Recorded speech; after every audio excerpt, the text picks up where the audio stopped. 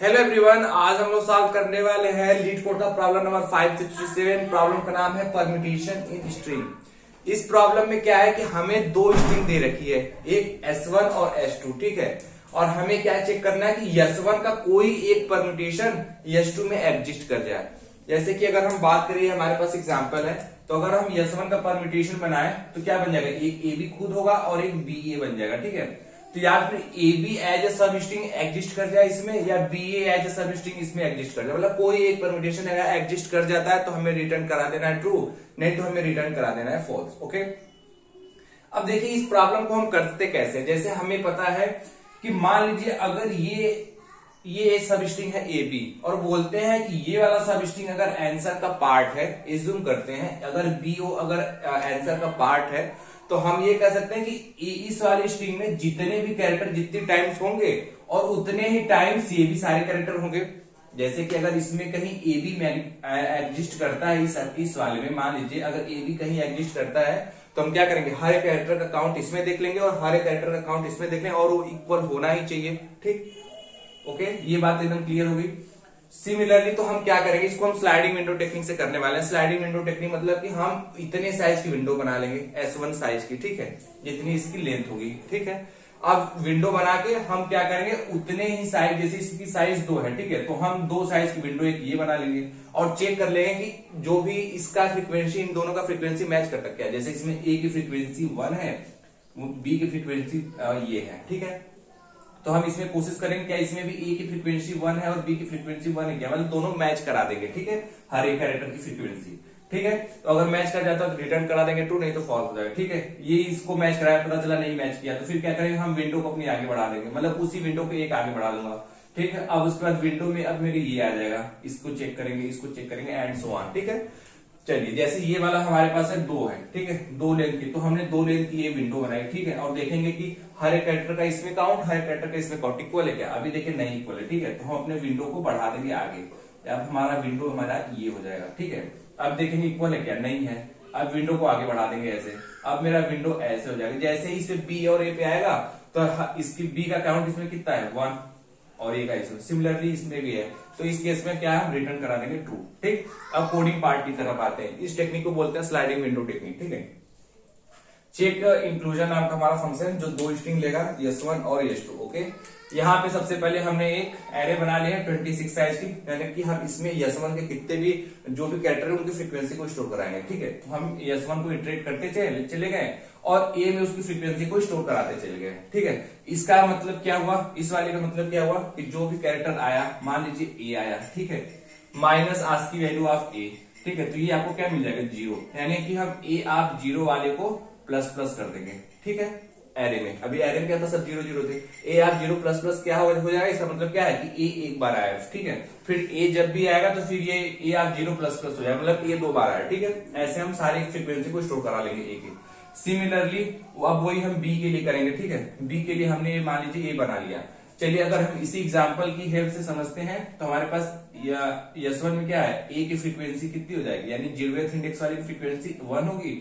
और उसके बी की वन वाले इंडेक्स की आ, कितनी होगी? वन होगी और बाकी सबकी ज़ीरो होगी ठीक है? ओके बाकी सबकी ज़ीरो होगी।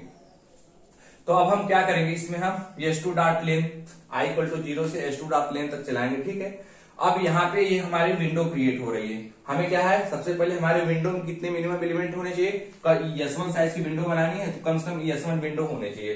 तो मैंने यहाँ पे लिखा कि जब भी आई की वैल्यू लेस देन हो तो अब क्या है? तुम विंडो क्रिएट करते चलो। विंडो क्रिएट करो और कंटिन्यू कर दो, ठीक? अब विंडो की जब साइज़ फुल हो जाएगी मतलब विंडो जब मेरी इतनी लेंथ की बन जाएगी एस वन लेंथ की, ठीक है? तब मैं चेक करना शुरू करूँगा, ठीक है?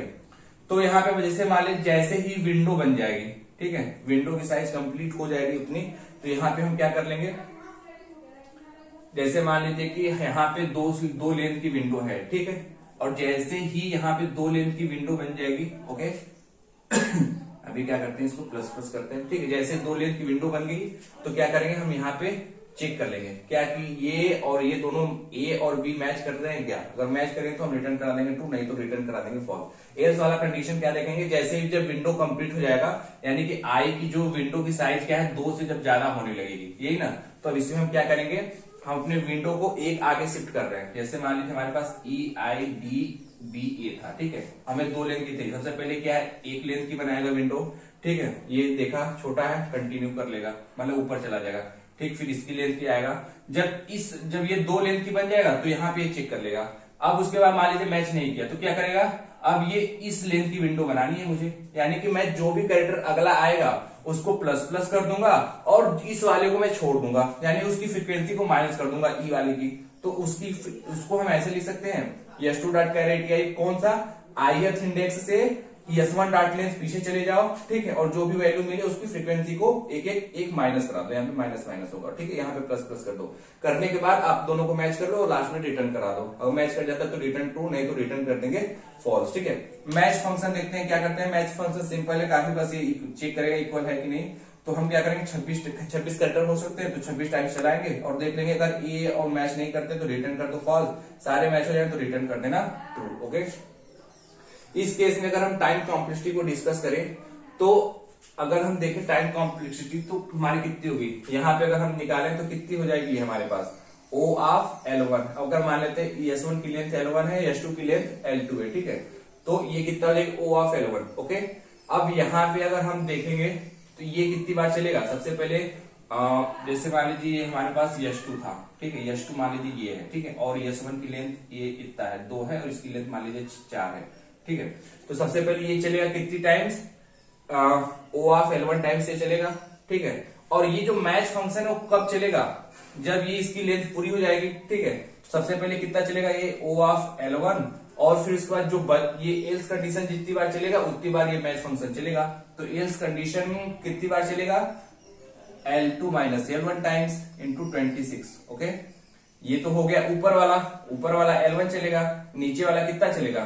L2 माइनस एल ठीक? और ये जब भी इन एल्स कंडीशन चलेगा, ये मैच फ़ंक्शन चलेगा। और मैच फ़ंक्शन की टाइम कॉन्स्टेंट कितनी है? ओ आप 26 तो O R twenty six into L two minus L one ठीक है? और इसमें यहाँ पे क्या है? एल वन ठीक है? तो इसकी ओवरऑल कॉम्प्लेक्सिटी कितनी होगी? Two of L one plus L two minus L one into twenty six ये हो गई, ठीक है? एग्जैक्ट कॉम्प्लेक्सिटी ठीक है? अब देखिए अब जब भी यहाँ पे एक आपको कंटिन्यू फ़ंक्शन लिखना पड़ेगा, ठीक है? अगर आप ये चाह रहे हैं एल टू माइनस सेवन क्योंकि अभी जब तक विंडो कंप्लीट नहीं होगी, आपको चेक करने की ज़रूरत नहीं है, ठीक है? क्योंकि आपको पता है विंडो की साइज़ अभी छोटी तो आपको यहाँ पे कंटिन्यू लिख देंगे, तब ये होगा। अगर आप कंटिन्यू नहीं लिखते हैं तो क्या हो जाएगा? इसकी जो साइज़ होगी L two into twenty six हो जाएगी ओके स्पेस कॉम्प्लेक्सिटी की बात करें तो स्पेस कॉम्प्लेक्सिटी कितनी हो गई? ओ आर ट्वेंटी सिक्स ये स्पेस में हम अपना काम कर ले रहे हैं ओके और कोई डाउट है तो कमेंट बॉक्स में ज़रूर मेंशन करें, सारा कोड आपको कमेंट सेक्शन में मिल जाएगा। Thank you